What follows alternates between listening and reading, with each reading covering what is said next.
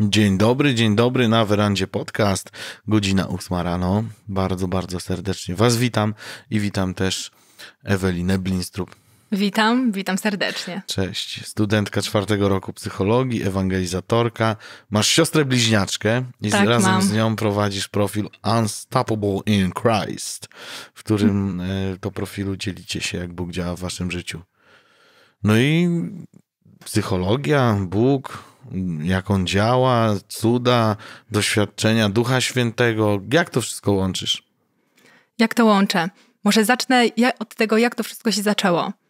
Zacznę tak standardowo. Urodziłam się w, i wychowałam w rodzinie takiej tradycyjnie wierzącej. Moja wiara głównie opierała się na uczynkowości, jednak było tam zawsze coś więcej.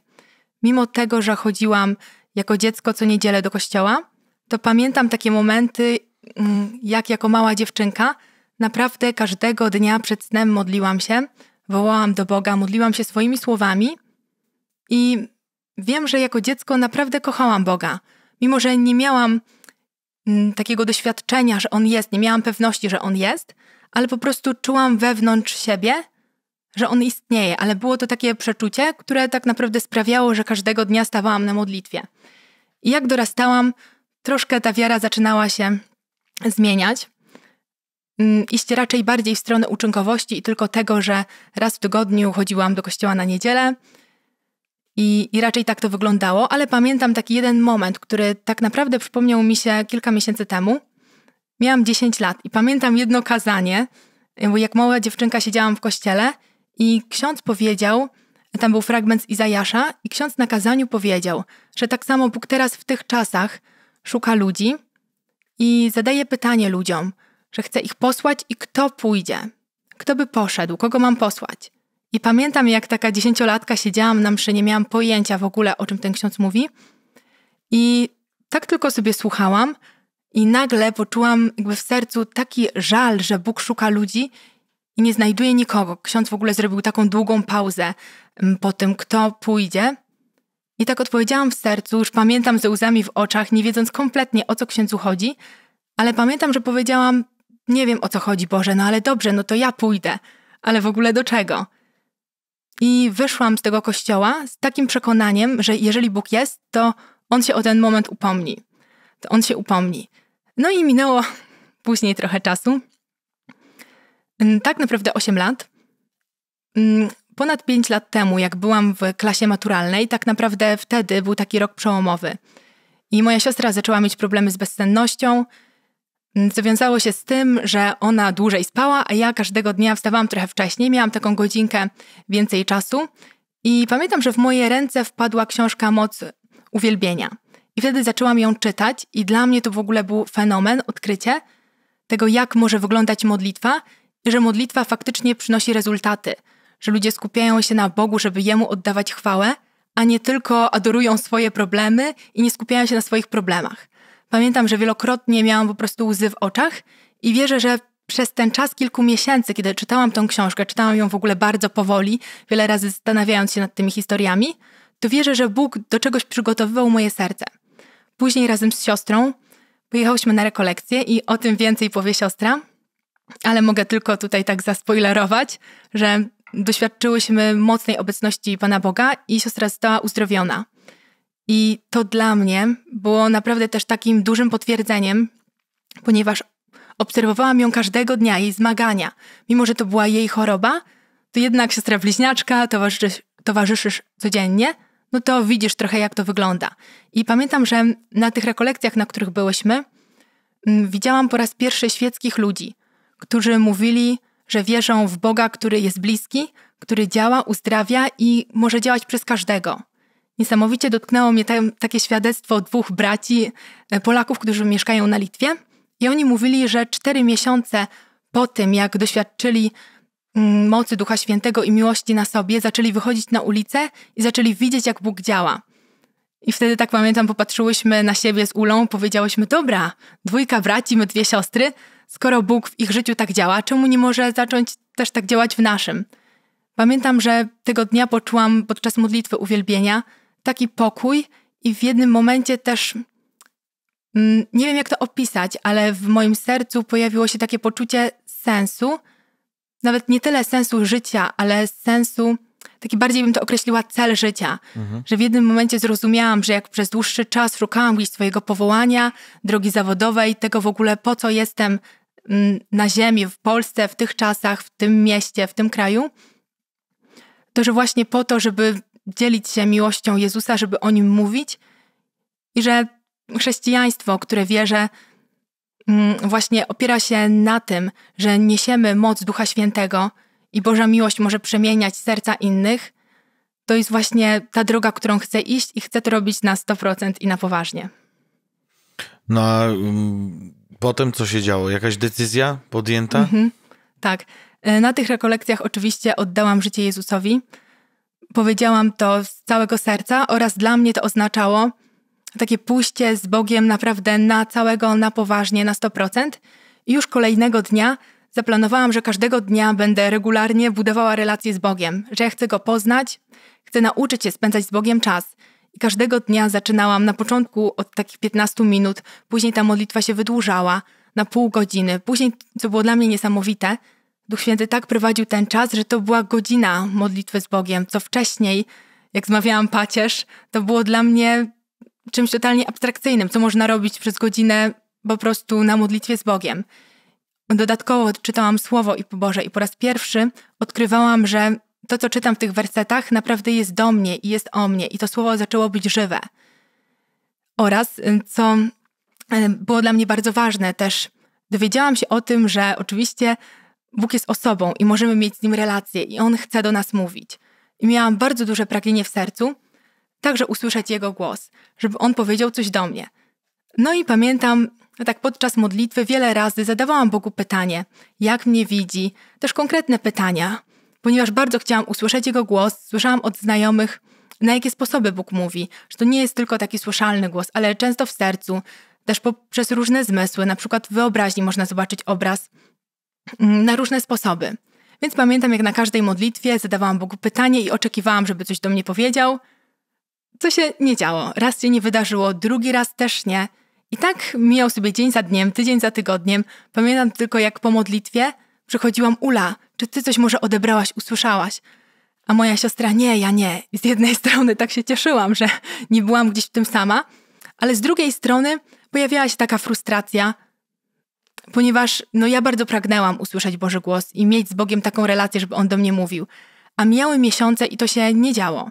Ale nie ustawałam i naprawdę mm, Bóg też dał wierzę taką łaskę i siłę, żeby każdego dnia gorliwie o to wołać oraz tworzyć też przestrzeń na modlitwie, na słuchanie. Mimo, że było ciemno wszędzie, głucho wszędzie, to i tak czułam, żeby być w tym wiernym, żeby każdego dnia wołać do Niego i oczekiwać odpowiedzi. I w końcu przyszedł przełom. Przyszedł on po roku. Więc po roku mogę powiedzieć prawie każdego dnia modlitwy codziennej, wołania, frustracji. Wiele razy to była po prostu modlitwa ze łzami w oczach, czasami po prostu w ryku, ponieważ czujesz, że no nie masz kontaktu z Bogiem, a wołasz, tworzysz przestrzeń, uwielbiasz Go i czytasz Słowo Boże, modlisz się i nie wiesz, co się dzieje. Jest to dla ciebie abstrakcyjne, jak Bóg może do ciebie powiedzieć. I pamiętam taką jedną modlitwę, która była dla mnie, dla mnie takim przełomem, ponieważ mm, pamiętam, jak się modliłam i zadałam Bogu właśnie pytanie. Zadałam pytanie wprost: Boże, to czemu ja tak nie słyszę w ogóle? Nie wiem, czy coś jest ze mną nie tak, może ja się jakoś blokuję. Się śmiałyśmy z Ulą, że wszyscy tak doświadczają Boga, a my jesteśmy takie w ogóle drewna duchowe chyba, że no nic się nie działo. I zapytałam Boga, czemu tak jest, że widzę, jak inni właśnie prorokują, do, czyli dostają słowa do życia innych ludzi z Bożej perspektywy oraz słowa poznania, czego nie mają prawa wiedzieć odnośnie innych osób. Widziałam, jak Bóg innym to objawia, a gdzieś ta przestrzeń jest dla mnie zamknięta. I jak zadałam Bogu to pytanie, co było dla mnie bardzo dziwne, zaraz po tym usłyszałam w sercu, tego przyszedł mi do myśli, Sygiel z Pisma Świętego, Księga Amosa 3.8. No i nie wiedziałam w ogóle, ledwo wiedziałam, że taka księga istnieje, nie czytałam wcześniej tej księgi, więc otworzyłam z ciekawości, nie oczekiwałam tak naprawdę, że tam będzie jakaś odpowiedź na moje pytanie, no i zaczynam czytać. I ten werset brzmi tak: Jak lew zaryczy, któż się nie przelęknie? I sobie tak dopowiedziałam nawet: O, ja byłabym pierwsza. I czytam dalej. jak Bóg przemówi, któż nie będzie prorokował. I, I to już naprawdę, jak przeczytałam, byłam naprawdę bardzo poruszona, ponieważ widziałam, że jest to odpowiedź na moje pytanie, jest to bardzo konkretna odpowiedź. Że to nie jest tak, że ja się mogę jakoś zblokować, albo ja jestem taka mocna, że wszechmocny Bóg, Bóg się nie przebije i ja jestem w stanie jakoś zblokować to, że On chce do mnie coś powiedzieć. I dotarło do mnie to, że tak naprawdę ten czas wierności, kiedy nic nie słyszałam, był Bogu potrzebny do tego, żeby oczyścić moje serce, oczyścić intencje, żeby tak naprawdę jeszcze bardziej wzbudzić to pragnienie Jego, pragnienie poznawania Jego, nie tylko widzenia Jego cudów, uzdrowień, co się zaczęło też później dziać, i znaków, ale że tak naprawdę w tym wszystkim chodzi o relację z Nim i o Niego samego. No ale to wszystko było na jakimś gruncie. Byłyście we wspólnocie czy coś? E, wtedy nie. No. Była to trzecia klasa liceum, więc e, jestem spod Wrocławia, mhm. więc wtedy tak naprawdę był to ostatni rok, w którym zmieniałyśmy rozszerzenia z matwiz na bardziej humanistyczne. Także tej pracy było dość sporo. Też dojeżdżałyśmy do liceum e, godzinę w jedną, w drugą. Wstawałyśmy o 5.55, więc często te modlitwy tak naprawdę no, były po nocach. Od północy do pierwszej. Nie wiem, jak miałyśmy siłę na młode, dojazdy. Młode, młode organizmy. Tak, Bóg łaskę dał. No. E, tak, więc ten cały rok nie byłyśmy we wspólnocie. E, dojeżdżałyśmy do wspólnoty Agaliasis czasami, e, gdzie też doświadczałyśmy Boga, jak przychodzi w uwielbieniu, w modlitwie uwielbienia, która była bardzo bliska naszemu sercu. E, no i dopiero później, jak przeprowadziłyśmy się do Warszawy na studia, dołączyłyśmy do wspólnoty Głos Pana w Skierniewicach, w której jesteśmy już no, ponad 4 lata, 4,5 hmm. chyba będą. Tak. No i co, co się dalej zaczęło dziać? No i co się dalej zaczęło dziać? Mm, zaraz za tym, jak zaczęłam widzieć i doświadczać tego, że Bóg na modlitwie mówi do mnie, to zaczęłam też odbierać, odbierać też różne poruszenia od Boga, które dotyczyły też innych ludzi. I dla mnie niesamowite było to, bo równolegle z tym szło pragnienie, żeby widzieć Boga, który działa w mocy, żeby widzieć te wszystkie znaki i cuda, które Jezus obiecał, żeby widzieć je też w moim życiu, w życiu zwykłej studentki. I tak samo modliłam się o odwagę, bo na początku był duży lęk, żeby w ogóle podzielić się zwykłym świadectwem właśnie spotkania Boga, czy mm, uzdrowienia właśnie siostry. I tak widziałam, jak Bóg po pięciu miesiącach dał lęk, e, zabrał lęk, a dał odwagę do ewangelizacji. Później, po kilku miesiącach, jak modliłam się za kogoś, to też był ten lęk, żeby wiesz, od razu na przykład zapytać, sprawdź. Tylko pomodliłam się o uzdrowienie, dałam swój kontakt i powiedziałam, że jak coś się wydarzy, to się odezwij. I dopiero po kilku miesiącach tak, tak szło to stopniowo. Stopniowo Bóg zabierał lęk i dawał odwagę w to miejsce. I pamiętam takie jedno świadectwo, które dla mnie jest takie bardzo przełomowe, ponieważ wierzę, że gdzieś od tego się zaczęło. Mm, mm, pamiętam, że na grupie naszej wspólnoty y, jeden kolega napisał, to było no, 4 lata temu, że jest y, niedaleko w szpitalu chłopczyk, który jest w bardzo ciężkim stanie. Jest po udarze, tam mózg mu nie pracuje, ma paraliż jednej strony ciała, tylko dwie komórki życia. I żeby się za niego modlić, jeżeli ktoś będzie chciał, to może będzie możliwość, żeby tam do niego przyjechać. My wtedy wcześniej z siostrą ledwo dołączyłyśmy do wspólnoty, nie widziałyśmy wcześniej żadnego uzdrowienia, żebyśmy się pomodliły i widziały, jak po modlitwie ludzie zostają uzdrowieni. Więc przeczytałam to i co dla mnie było takie dziwne, to po prostu w jednym momencie poczułam takie złamane serce, jakie Bóg ma do tej sytuacji, że zrozumiałam, że Bóg bardzo mocno w sercu zaprasza mnie do tego, żebyśmy tam pojechały, położyły ręce, modliły się – a reszta tak naprawdę zależy od niego, ale żebyśmy zrobiły swoje. Oczywiście no było to przerażające, bo nie widziałam wcześniej uzdrowienia no, z jakichś problemów takich mniej, mniej poważnych, typu na przykład jakiś problem z kolanem czy coś innego, wiesz, nie widzisz takich rzeczy, a już czujesz, że Bóg cię zaprasza do czegoś, co już się wydaje totalnie poza, poza czymś, co Bóg może zrobić. Więc powiedziałam, Boże, jeżeli chcesz, żebyśmy tam pojechały, to proszę daj mi konkretny znak. E, I poszłam na spotkanie naszej wspólnoty i tak zadałam Bogu pytanie, że odpowiedz mi na tym spotkaniu. I powiedziałam, dobrze Boże, czy mamy tam jechać?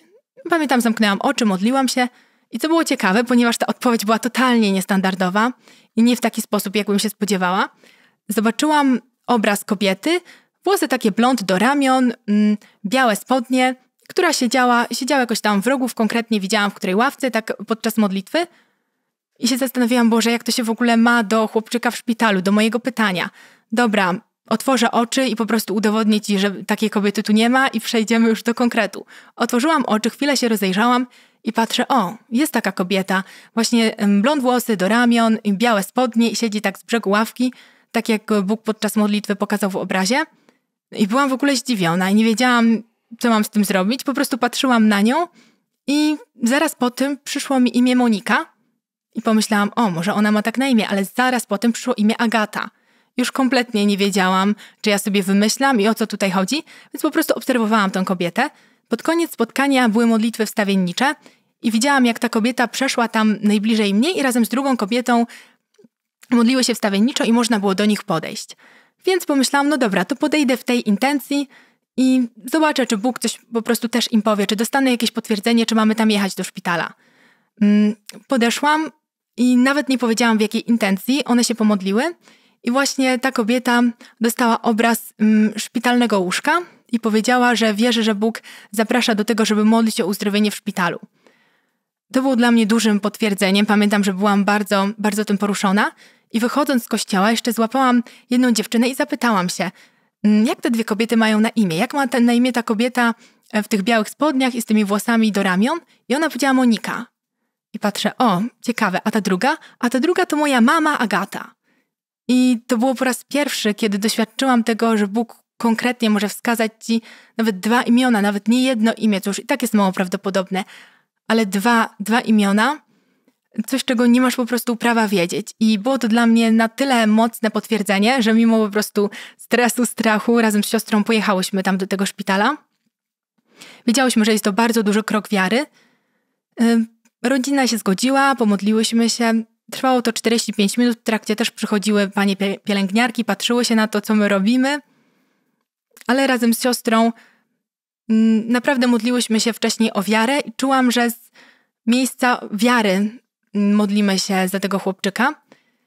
Mm, kilka dni później odezwałyśmy się, no i okazało się, że nic się nie stało.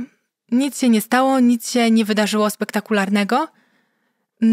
Dalej z chłopczykiem jest tak samo, więc lekarze postanowili, że odłączą go od aparatury, która go dłużej mm, podtrzymywała.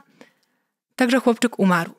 Było to dla mnie troszkę takie niezrozumiałe, aczkolwiek w tym wszystkim wiedziałam, że Bóg jest, ponieważ wiedziałam, że bardzo konkretnie powiedział mi coś, czego nie miałam prawa wiedzieć sama z siebie odnośnie tych kobiet, które tak, także dostały słowo, żeby jechać do szpitala.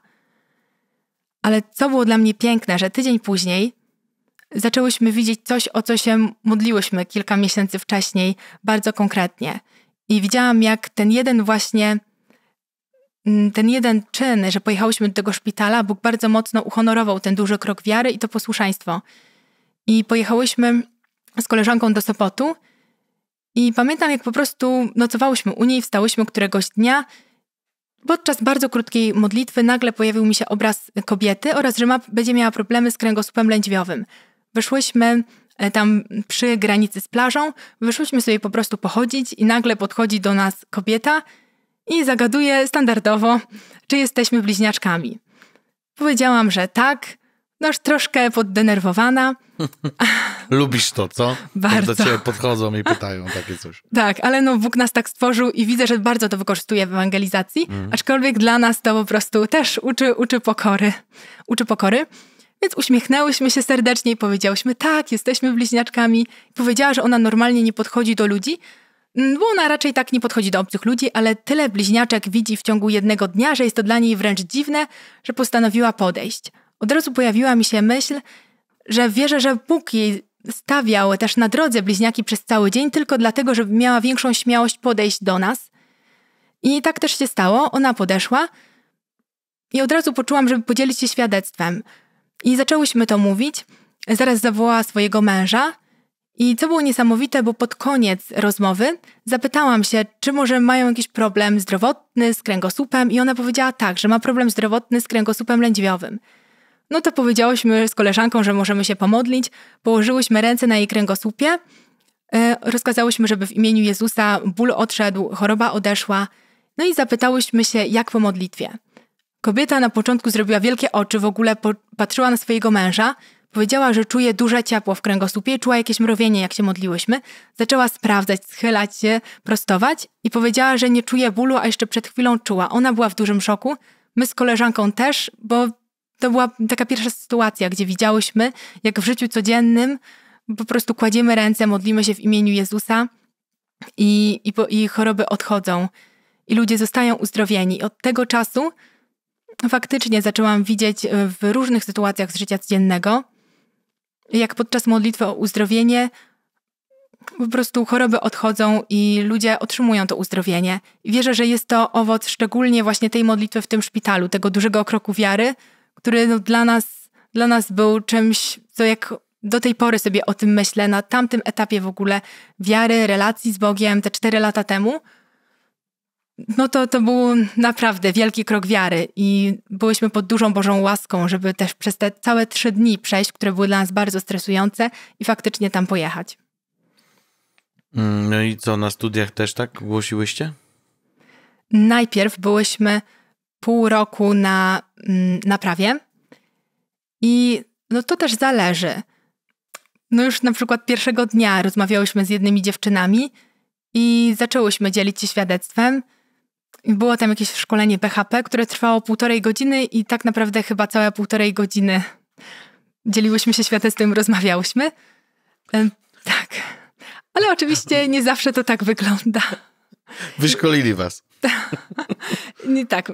Nie zawsze to tak wygląda. Też staramy się mm, też wyczuć, jaka jest sytuacja, jaką relację mamy z osobą, ponieważ bardzo mocno widzę, że jeżeli też mm, znasz kogoś, znasz kogoś lepiej, to jesteś też bardziej wiarygodna w tym, co mówisz. Więc jeżeli znałam kogoś już trochę lepiej i dzieliłam się świadectwem, to całkiem inaczej to było przyjmowane, niż jeżeli kogoś znałam słabo.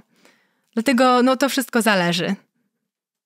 No i później założyłyście taki profil Unstoppable in Christ. O co chodzi w ogóle? Mhm. Tak, no to już było sporo później.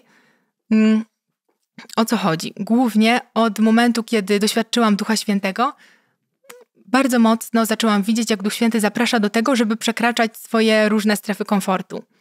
I tak naprawdę, jak sobie myślę o tym, to doświadczam Boga, który jest Bogiem wolności, który tak naprawdę uczy nas w dojrzałości i czym bliżej jestem Boga, tym bardziej czuję się wolna. I na samym początku wszystko, co czu, do czego czułam, że Bóg mnie zaprasza, to wymagało ode mnie wyjścia ze strefy komfortu. Wszystko było bardzo stresujące, żeby podejść do kogoś, podzielić się świadectwem, zaczepić kogoś na ulicy, później zaproponować modlitwę, później też od razu powiedzieć, sprawdź. I tak naprawdę czułam, że w taki zdrowy sposób Bóg poszerza tą strefę komfortu i zaprasza do tego wyjścia. I co było niesamowite, że zaczęłam widzieć, że Bóg daje tą odwagę, daje miłość do ludzi i że to jest Jego łaska. I On tak bardzo pragnie zdobywać ludzkie serca, że jest w stanie dać taką łaskę i taką odwagę mi, która wiem, że po ludzku gdzieś sama z siebie nie mam takiej śmiałości i nie mam tego, że to Boża miłość jest nie do zatrzymania.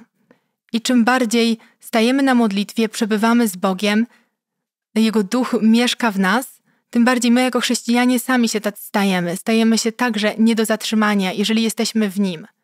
I myślę, że to nie wyklucza tego, że moc słabości się doskonali, tylko właśnie podbija. Myślę, że te dwie rzeczy idą ze sobą w parze. Że my sami z siebie jesteśmy słabi i doświadczam tego wiele razy, że im bardziej ja nie domagam, im bardziej ja gdzieś jestem słaba, chora, zmęczona, tym bardziej Jego moc się objawia i tym bardziej On działa. I dzięki temu, że Jego łaska jest nie do zatrzymania, to my w Nim też tacy jesteśmy i Bóg przemienia nasze serca, czyniąc z, z mojego życia, co widzę taką niesamowitą przygodę i takie drogi, jakie Bóg otwiera, takie pomysły oraz siłę i pasję do realizacji tego, czego nie byłabym w stanie sama z siebie nigdy zrobić. No i Bóg zaczął was posyłać. Że no faktycznie nie za, niezatrzymane jesteście w Chrystusie, nie? E, wyjechałyście na Madagaskar, ale o tym więcej powiemy mhm. z Ulą. E, a to na pewno była mocna rzecz, nie? Tak. Mm, ale też była taka historia, jak pojechałyście na autostopa i tam ewangeli- mhm. po prostu ewangelizować, tak? Tak. Jak to było? Tak, może na początku odniosę się do tego, że jak był u ciebie Maciek z Bogiem Ziomek, no to już nie wiem, czy nie było z rok temu, nie? No to, temu, no? Mm-hmm, no to on powiedział, że ma jeszcze taki jeden wyjazd, ale nie będzie o tym mówił, bo nie wie, jak wyjdzie. To to właśnie ten wyjazd, o którym teraz powiem. Mm, to też było niesamowite, bo zaczęłyśmy widzieć z siostrą, jak Bóg działa w miejscach, w których jesteśmy, w Warszawie, e, nie wiem, w pociągu, czasami w łazience, w taksówce, w autobusach, w różnych miejscach, w których i tak przypadkiem byłyśmy. Ale Bóg zaprosił nas do czegoś więcej, do tego, żeby właśnie wyjść samemu też do ludzi, żeby wychodzić do ludzi, którzy są w różnych miejscach Polski, którzy może sami nie przyjdą do kościoła, nie przyjdą na jakieś uwielbienie, czy rekolekcje, czy wydarzenie.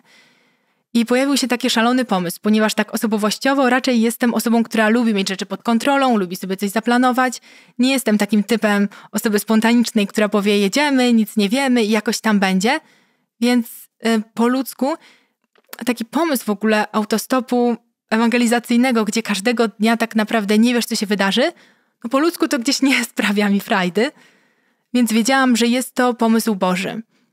Wizja tego pomysłu była taka, żeby przez 7 dni każdego dnia spędzać czas na modlitwie tak godzinę, półtorej i pytać Boga dokładnie, gdzie mamy jechać, też pytać Go o jakieś wskazówki odnośnie osób, o które wie, wierzyłam, że On się upomina, które możemy spotkać na drodze. Jakieś wskazówki, jak będą ubrane, jak będą wyglądały, może właśnie z czym się zmagają, jakie Bóg chce dać słowo, żeby ich podnieść, pocieszyć. E, i to wszystko, co dostawaliśmy razem z Maćkiem na modlitwie, to spisywaliśmy sobie w notatce, żeby później móc takiej osobie to pokazać, żeby było dokładnie napisane dzień, godzina, żeby było to takim potwierdzeniem. No i pamiętam, jak spotkaliśmy się, ponieważ wyjeżdżaliśmy ze Skierniewic, byliśmy wszyscy tak zestresowani pierwszego dnia szczególnie, ponieważ nie wiedzieliśmy, jak to wyjdzie. Też wiele osób o tym nie wiedziało, ponieważ nie, nie, nie wiedzieliśmy, jak to będzie. Nie słyszałam, żeby ktoś wcześniej też coś takiego robił. W ogóle jeszcze byliśmy w trzy osoby, duże plecaki, więc też słyszeliśmy od znajomych, że w ogóle nikt się wam nie będzie zatrzymywał. No ale rzeczywistość okazała się inna, bardziej przychylna. Doświadczyliśmy tego, że jak jedziemy z Bogiem, z Bożym planem, to te drzwi naprawdę się otwierają.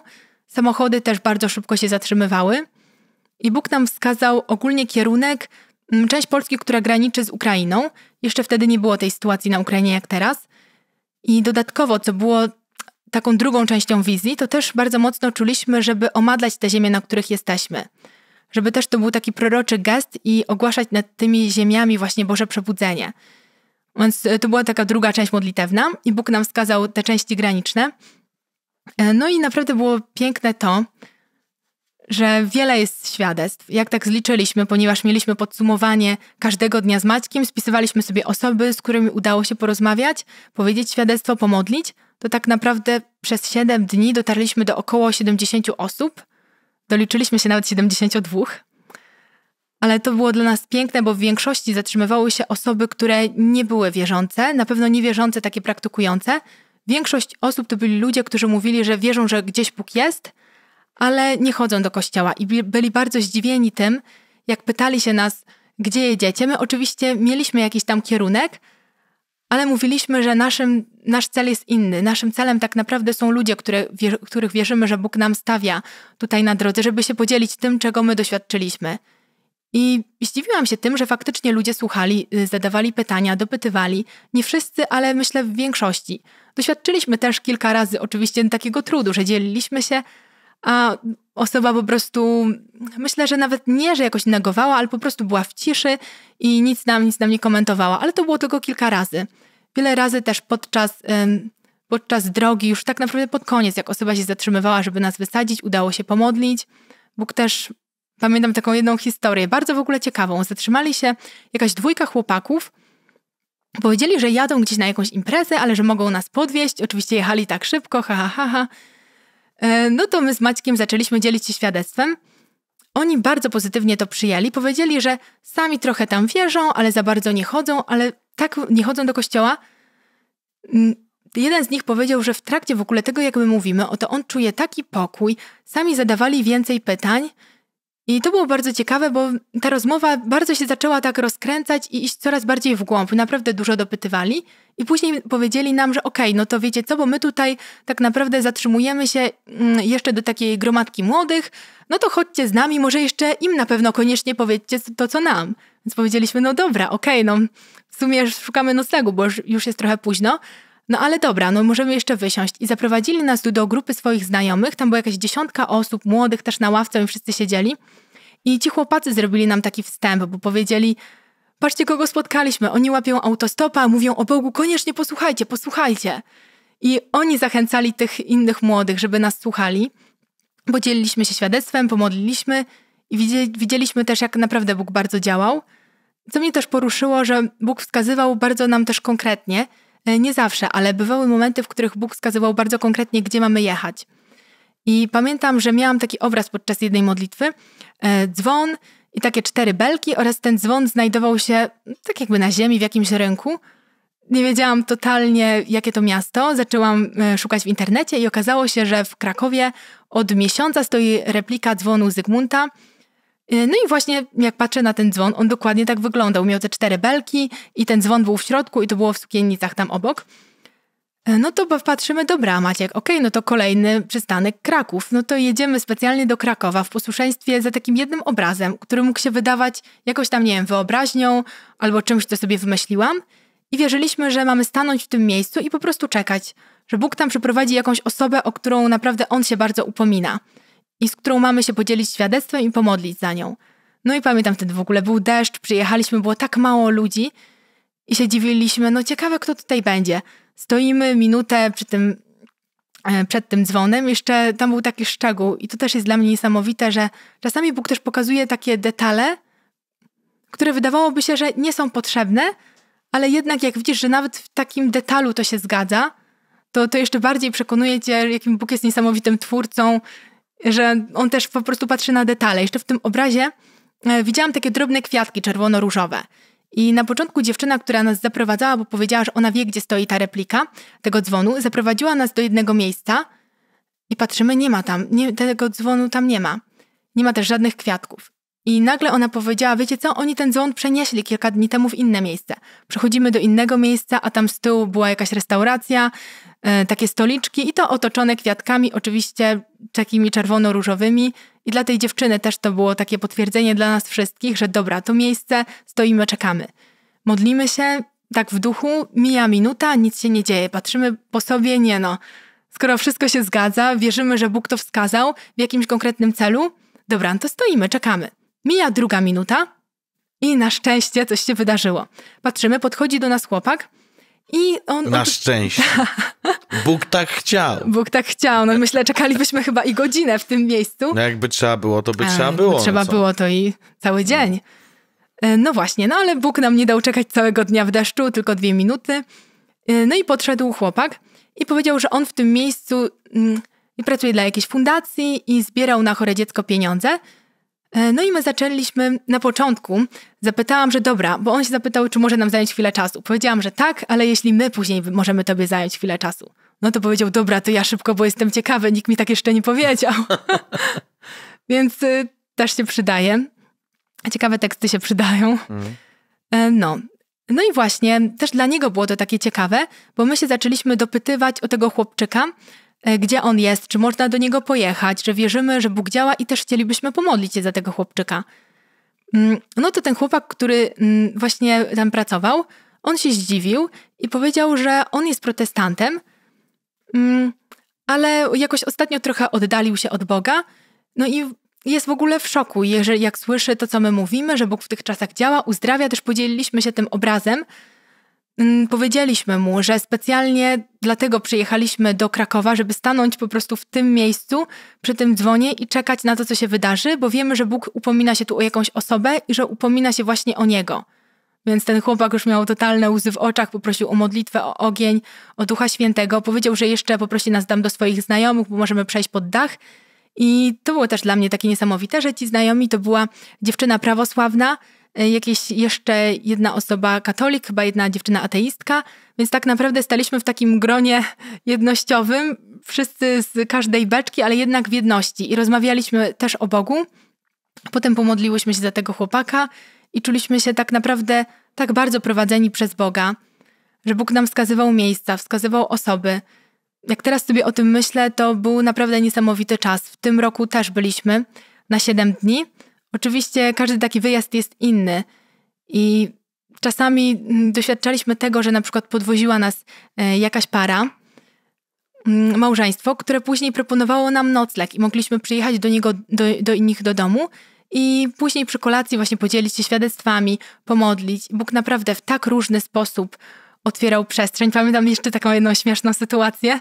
Maciek się zawsze z nas śmieje, jak to opowiadamy. E, na jednej modlitwie Ula miała obraz i przekazała tylko tyle, że mm, widzi dwóch mężczyzn, którzy mają taki strój kowbojski i kapelusze kowbojskie. No to Maciek się uśmiał, aha, wy dwie i dwóch kowbojów, no nie wiem, czy to takie Boże. E, no, no właśnie, no ale w wierności Ula to sobie zapisała. E, no i czekaliśmy i byliśmy w górach jednego dnia. No jak wracaliśmy z gór, no to próbowaliśmy złapać stopa, ale nie mieliśmy noclegu. Tego dnia nie mieliśmy noclegu, bo ogłaszaliśmy u Maćka na profilu, więc czasami mieliśmy nocleg, a czasami mimo ogłoszenia i tak nie mieliśmy. E, tego dnia akurat było tak, że na modlitwie Bóg mi wskazał, żebyśmy nie ogłaszali, że nocleg przyjdzie sam od ludzi i w ostatniej chwili przyjdzie. Co dla mnie już było bardzo stresujące, ale wzięliśmy sobie to słowo też na poważnie. E, no już jest około 20, schodzimy z gór, nie mając noclegu. Mm, żadna propozycja sama nie wyszła. E, no i nagle widzimy, jak z samochodu wysiada para. Tak trochę ubrani jak hipisi, a chłopak w ogóle ma kapelusz kowbojski tak ubrany trochę jak kowboj. No to Ula mówi, ej, jest, no dobra, jest jeden. Miało być dwóch. No to podeszliśmy do nich, pytamy się, gdzie oni idą. No i on powiedział, że on w ogóle tutaj gra na gitarze e, w jakimś barze, no to, że możemy przejść tam e, z nimi chwilę posłuchać, bo przyjechali tu na koncert. No to idziemy tam za nimi i patrzymy, o, ktoś też akurat gra. Drugi kowboj, drugi mężczyzna w czapce kowbojskiej. Pamiętam jeszcze, jak Maciek mówił, że jesteśmy w górach, to może czapka góralska. No nie do końca, kowbojska. Więc byli we dwójkę. No właśnie, oni mieli koncert i grali. Więc znowu usiedliśmy i czuliśmy się tak krok po kroku prowadzeni przez Boga, bo patrzymy, okej, okay, Bóg wskazał, są, no dobra, ale co dalej? Jak to w ogóle ma się wydarzyć? Jak mamy podejść? I to też było niesamowite, bo nie widzieliśmy mm, tej dziewczyny, która była z tym chłopakiem, gdzie ona się podziała i bardzo mocno y, czułyśmy z Ulą w sercu, że ty, ona będzie w łazience, że idźmy do damskiej toalety, poczekamy, ona na pewno tam będzie, wyjdzie i wtedy będziemy mogły porozmawiać. No to tak też zrobiłyśmy, poszłyśmy, okazało się, że ona była, wyszła i porozmawiałyśmy, podzieliłyśmy się świadectwem, też widziałam, że była tym poruszona, podzieliliśmy się ogólnie też tym, że jesteśmy tutaj na takiej podróży autostopem. Ona powiedziała, że sama też dużo podróżowała autostopem, więc no wie, z czym to się, z czym to wszystko się je, że tak powiem. No, no i tyle. Przyszedł jej chłopak, powiedział, że jest potrzebna na scenie. No dobra, no i idziemy do Maćka, patrzymy, okej, okay, no dobra, podzieliłyśmy się, może o nią chodziło, chyba o to tylko. No i mamy już wracać, kiedy ona nagle do nas podbiega i mówi, że wiecie co, dzisiaj możecie u nas przenocować. Tylko musicie dojechać sobie tam sami, bo mamy cały samochód załadowany i dopiero będziemy po północy. No to patrzymy, dobra. Staraliśmy się wymienić jakimś kontaktem. Okazało się, że jeszcze tam dziewczyna miała problem z telefonem, więc znowu tak w niewiadomą mieliśmy tylko adres jakiejś, jakiejś tam wioski w górach. Tam pojechaliśmy na przystanku, czekaliśmy na nich. I nie wiedzieliśmy, czekaliśmy godzinę na przystanku, nie wiedzieliśmy, czy oni przyjadą, czy nie przyjadą, a co jeżeli po prostu gdzieś nas tak zostawią, nawet nie możemy do nich napisać, tylko po prostu czekamy w tym miejscu, albo się pojawią, albo nie. Oczywiście się pojawili. Też sobie pięknie spędziliśmy czas. Mm, okazało się, że ten mężczyzna jest leśnikiem, więc opowiedział nam wiele historii. Też się podzieliliśmy mm, właśnie naszą wiarą trochę więcej. Więc no naprawdę, tych przygód było bardzo dużo. Dużo było opowiadać, ale doświadczyliśmy tego, że Bóg naprawdę się troszczy i podczas tego wyjazdu też doświadczyłam tego, że nie muszę się tak trzymać swojej kontroli i tego, że ja chcę, żeby wszystko było zaplanowane, ponieważ to Bóg jest Bogiem, który daje wolność i daje też w tym frajdę. I poczułam tak naprawdę, że czym bardziej zbliżam się do Boga, tym bardziej Bóg mi pokazuje, jaka jestem. Że właśnie wcześniej bym opisała, że o ja nie lubię takich w ogóle rzeczy spontanicznych, mm, jakichś takich ryzykownych, jakaś przygoda nie, najlepsze jest to, co jest bezpieczne, sprawdzone – to widzę, że taka byłam ja, która była pełna gdzieś lęku, która nie znała Chrystusa.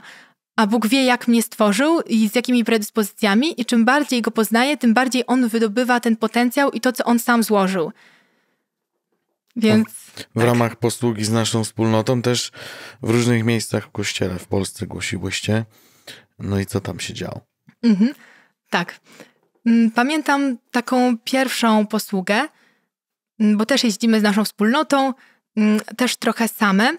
Pamiętam taką pierwszą sytuację, kiedy mm, jedna osoba z naszej wspólnoty, koleżanka, e, dostała zaproszenie, żeby poprowadzić zesłanie Ducha Świętego dla młodzieży i powiedziała, że ona czuje, żebyśmy my to poprowadziły. I to było bardzo ciekawe. To była nasza taka pierwsza posługa, którą, do której zostałyśmy zaproszone, żeby ją same poprowadzić. I pamiętam, jak ta koleżanka mówiła, to jest znowu związane właśnie z głosem Bożym, i to też bardzo mocno zapadło mi w pamięć. Mówiła, że często jest tak, że mm, jak idziesz też do młodych, to Bóg może dać ci konkretne słowa, jak ktoś ma na imię, wiek e, i jeszcze, i jeszcze jakiś tam szczegół albo pasję tego, tej młodej osoby, ponieważ dla młodych też to jest ważne. No i ona opisywała swoje historie, jak to u niej często wyglądało. No i ja takiej słuchałam i powiedziałam, no dobra, no chyba ty. Takie słowa, że imię, wiek i wszystko po prostu po kolei. No nie, no to to chyba ty tak masz. E, no i tak to gdzieś zostawiłam. Przyszedł ten czas mm, tej posługi mm, dla tych młodych i pamiętam jak na jednej modlitwie osobistej mm, dostałam imię Ania, 19 lat oraz miałam obraz pióra, że piszę wiersze. No ale wiedziałam, że ta posługa jest e, raczej dla młodych w wieku 16, 15, bierzmowani. Więc patrzę, dobra, 19, no nie do końca. Może nie będę publicznie mm, pytać się, czy jest taka osoba, ale sobie zapiszę i zobaczę, co się wydarzy. Podzieliłyśmy się z siostrą świadectwami, pomodliłyśmy się też o Ducha Świętego i później był czas modlitwy wstawienniczej.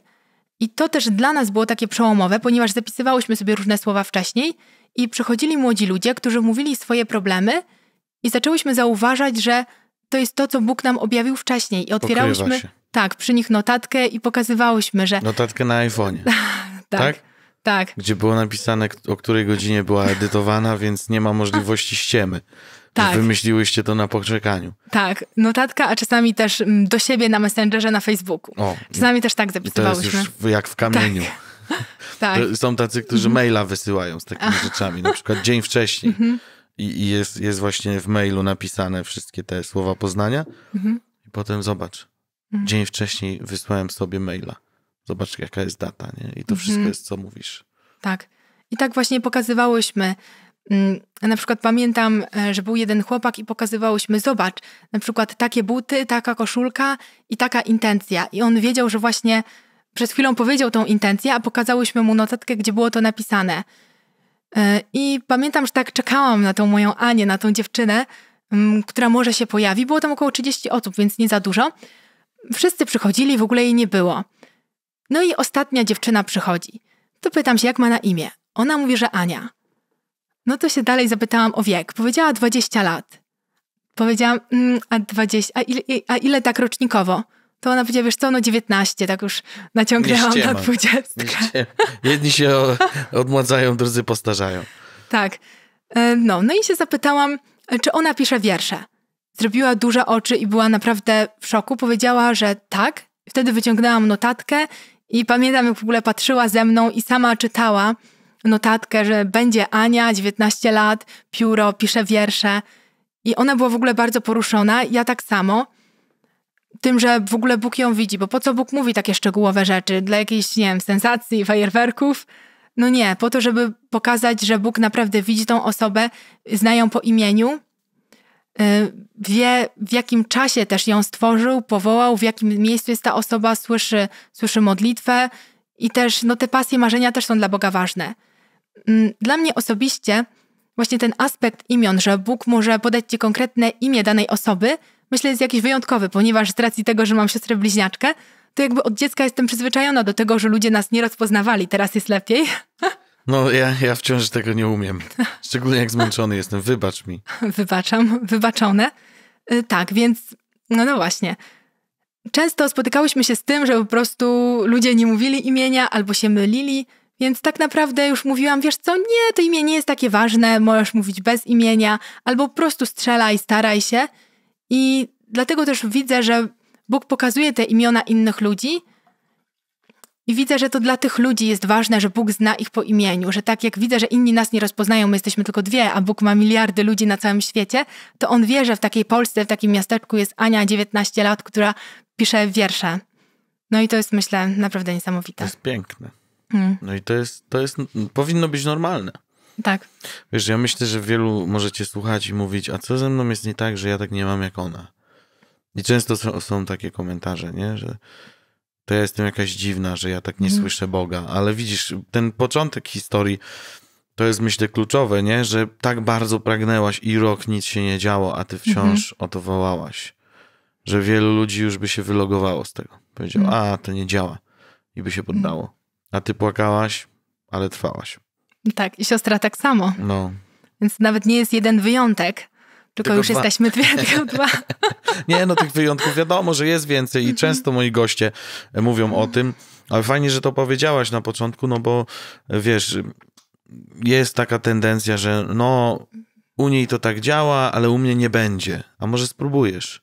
I będziesz tym gwałtownym człowiekiem, który będzie się trzymał tego słowa i nie puści, aż Amen. nie pobłogosławisz. Boże. Mm. No a jeszcze z, z Polski jakieś może uzdrowienia, które pamiętasz, które szczególnie, bo, Mhm. bo wiesz, no to, to ten szpital z tym małym chłopczykiem, no to wydawałoby się porażka była, nie? Tak. Ale Bóg wyciągnął z tego dla was owoce i, i na pewno zobaczyłyście przełomy Mhm. w tej kwestii. Tak. Mm, Widziałyśmy jeszcze takie jedno świadectwo, które bardzo jakby, jak od razu powiedziałaś, to o tym pomyślałam. Nie wydarzyło to się na posłudze, ale była to modlitwa po prostu osobiście za jedną znajomą. Była ona w ciąży w, w trzecim miesiącu chyba i tam były bardzo duże problemy. To było tak, że lekarze nie dawali temu dziecku szans na przeżycie. E, Ona miała dziurę w błonie płodowej i wyciekały wody płodowe, więc jak przyszła do nas y, prosić o modlitwę, to powiedziała, że czuje się jakby była na tykającej bombie i że jest przerażona, bo w każdej chwili może stracić dziecko i lekarze też nie są w stanie, nie są w stanie nic zaproponować, co mogłoby jej pomóc. Jedyną możliwością było to, gdyby to dziecko jakimś cudem się tak przesunęło, żeby zakryć tą dziurkę, co oczywiście lekarze powiedzieli, że jest no, prawie nieprawdopodobne. Także pamiętam, jak z siostrą położyłyśmy ręce, ręce na nią i naprawdę czułam, że Boże, jak ty tutaj czegoś nie zrobisz, no to co ja mogę? Więc modliłyśmy się za nią o uzdrowienie. Modliłyśmy się też wprost, ponieważ nazwała już swoje dziecko Piotruś. Modliłyśmy się, Piotrusiu, w imieniu Jezusa przesuń się. Dosłownie tak się modliłyśmy, ale z wiarą. I pamiętam, że pod koniec modlitwy jeszcze czułam, żeby na głos wypowiedzieć zdanie i pomodliłam się, e, ogłosiłam Bożą obfitość. No i tyle. Mm, Kilka dni później znajoma poszła do lekarza i wysyła nam wiadomość. Powiedziała, że to jest niesamowite, bo okazało się, że nagle chłopczyk się przesunął, więc dziecko się przesunęło w taki sposób, że zakryło dziurkę. Lekarz w ogóle jest w szoku. Oraz co więcej, ponieważ e, te wody wyciekały, to już było o wiele mniej, więc całe łożysko było duże tam problemy, ale nagle się okazało, że wody płodowe one się podwoiły, co lekarz już w ogóle nie jest w stanie tego wytłumaczyć, przez co wszystko się odnowiło i tak jak był problem, tak jego nie ma. E, To było już jakiś czas temu, więc dziecko się urodziło, dostało 10 na 10 punktów, więc jest w pełni zdrowe. I to było dla mnie niesamowite, że w takiej sytuacji, kiedy lekarze rozkładają ręce, to Bóg naprawdę działa i wystarczy po prostu robić swoje, kłaść ręce na chorych i będziemy widzieć po prostu to, że Bóg działa. Tylko tak jak powiedziałeś, trzeba wytrwać, bo ta droga po prostu czasami jest dłuższa do tego momentu, aż zobaczymy. Oczywiście są takie przypadki, że ludzie kładą od razu ręce i po- podczas pierwszej modlitwy widzą, ale też zauważam, rozmawiając z ludźmi, że czasami tak jest, że jeżeli ktoś za szybko coś zobaczy, to później tak naprawdę nie wiem, z czego to wynika. Może nie jest w stanie gdzieś w tym Wytrwać. wytrwać, tak, i, i później tego nie robi. A tak naprawdę ci ludzie, którzy mieli tą drogę taką dłuższą, żeby zobaczyć ten pierwszy raz, to już w takim pragnieniu, w takiej desperacji wzrastają, że jak już zobaczą, to tak naprawdę już później lecą w to, idą dalej i tak naprawdę w tym służą i w tym są. Więc czasami ta droga ym, jest, myślę, może ważniejsza, to nie, ale naprawdę jest potrzebna do tego, żeby stale w czymś posługiwać, niż jeżeli coś by przyszło bardzo szybko. To jest przesłanie dla widzów, czy jest jeszcze- jeszcze jakieś inne? Myślę, że to może być przesłanie, ale jeszcze pomyślałam o innej, o innej kwestii. Mhm. Mm, Więc co chciałabym powiedzieć jako przesłanie? Na pewno to, że jeżeli może jesteś długo z Bogiem i właśnie wołasz o to, żeby usłyszeć Boży głos i nic takiego się nie dzieje, to nie odpuszczaj, wołaj, napieraj, bądź nieustępliwy w tym i też rób kroki wiary. Rób kroki wiary odważne, a wierzę, że Bóg będzie to honorował. A nawet jak coś się nie wydarzy, to doświadczysz tego, że tak naprawdę nie boli ciebie to tak, jak myślałeś, że będzie bolało, że coś zrobisz i nic się nie wydarzy. To przeżyjesz, nic się nie stanie. Więc y, chcę każdego zachęcić do tego, żeby walczyć o Boże obietnice, walczyć o czas z Bogiem, ponieważ doświadczam tego, że czym większe widzę cuda, tak naprawdę wracam do tego, że tym bardziej zachwyca mnie mój Bóg i moja modlitwa się zmienia. I to jest tak naprawdę, wierzę, kluczem, sednem naszego życia chrześcijańskiego. Modlitwa i żeby ten wzrost w modlitwie tak samo był i nawet wyprzedzał posługi, żeby nie było tak, że dzieją się znaki cuda i to, co się dzieje na modlitwie, musi tak dogonić do reszty. Tylko na początku jest wzrost, rozwój w modlitwie, w głębi, w tym, jak spotykasz Boga, jak doświadczasz, a dopiero wypadkową tego są znaki i cuda i to, co widzisz, posługując. Amen. Amen. No ale wiesz, bez modlitwy to nie, nie ma nic, więc pomódlmy się za widzów. Tak. O to, żeby to wszystko, co powiedziałaś, żeby także mhm. stało się ciałem w ich życiu. Bo świadectwo zawsze ma tą mocno. Jak to, jak to Pan Jezus mówi w Apokalipsie, że świadectwem Jezusa jest duch proroczy. Czyli po prostu to, co jest mówione, to też ma się dziać, nie? Mhm. To chce się dziać. Bóg tak. chce to robić, powtarzać. My często niestety po ludzku tak bierzemy, że o zazdrość i że czemu ja, ja tak nie mam, zamiast pomyśleć, o wow, to, to, to co ty powiedziałeś, że u tych dwóch chłopaków Bóg działał, to czemu u nas nie może? Proste, że może, to my mm. też w to wejdziemy, nie?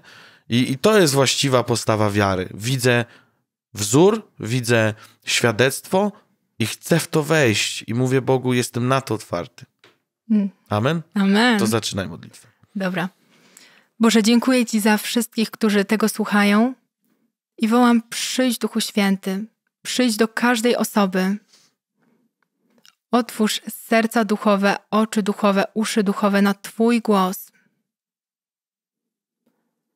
Niech odejdzie wszelkie kłamstwo, że mną nie możesz Cię posłużyć, że akurat ja nie usłyszę głosu Bożego, że to nie jest dla mnie, że każdym możesz się posłużyć, Boże, tylko nie mną jak gromię wszelkie takie myśli, wszelkie takie kłamstwa. I ja wołam teraz, Duchu Święty, przyjdź ze swoją namacalną obecnością do każdej osoby. Przyjdź, Duchu Święty. Przyjdź teraz też podczas tej modlitwy, Panie. Wołam, wołam o to, żeby nasi widzowie słyszeli Twój głos, bo Ty, Boże, dobijasz się do nich. Ja wołam o wrażliwość ich serc i wołam o to, żeby od tego czasu zauważyli, zauważyli na to, na, to, na jakie sposoby Ty do nich mówisz i rozpoznawali Twój głos. Przyjdź też z pragnieniem słyszenia Twojego głosu. Przyjdź z pragnieniem modlitwy, z pragnieniem kroków wiary i z odwagą. Na Twoją chwałę, Jezu. Amen. Amen. No w trakcie jak zaczęliśmy się modlić, to ja zobaczyłem tak, blondynkę z takimi włosami upiętymi u góry, w czarnych okularach. Wydaje mi się, że jest to osoba starsza ode mnie. Nie mówię, że starsza, ale że starsza ode mnie, czyli między 30 a 40, może to być większy wiek. I, i zobaczyłem też kolor różowy, i, I takie słowo szydełkowanie, może nawet teraz szydełkujesz i robisz jakiś różowy szalik czy coś, co brzmi dziwnie bardzo, ale dobra. I, I zobaczyłem też takie rozerwane serce, które było przedstawione w takiej formie mm, jakby materiału. E, I, I widziałem, jak Bóg strzywa to serce. Bóg chce strzyć ci serce, blondynko w czarnych okularach. Więc y, bądź zdrowa, bądź uwolniona, bądź pełna ducha w imieniu Jezusa. A ty miałaś jakieś wrażenia w trakcie? Bardzo mocno przychodziło mi imię Aneta i wierzę, że jest tu taka kobieta, która słuchając tego, właśnie szczególnie nie słyszysz Bożego głosu, a bardzo chcesz.